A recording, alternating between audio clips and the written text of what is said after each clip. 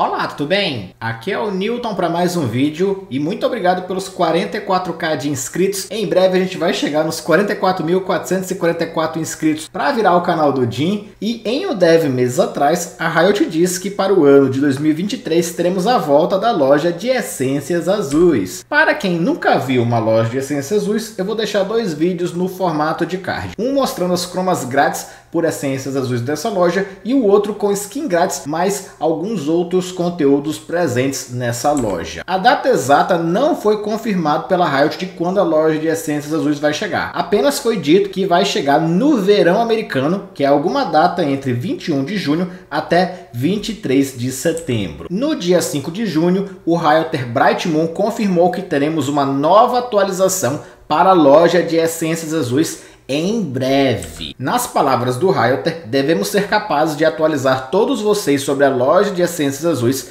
nas próximas semanas. A equipe acabou de concluir muitas mudanças ocultas que tornarão o empório de essências mais estável e menos codificado à mão para cada um. Se a gente pensar que essa atualização vai chegar daqui a algumas semanas, então essa loja de essências azuis não vai chegar nem tão cedo e vai ficar mesmo para agosto ou até mesmo setembro. Deixa aqui um comentário comentário para eu ficar sabendo do que, que você acha que a Riot fez para melhorar a loja de essências azuis que demorou tanto para fazer. E se gostou do vídeo, clica no curtir e se inscreve. Vou ficando por aqui, até a próxima. Valeu!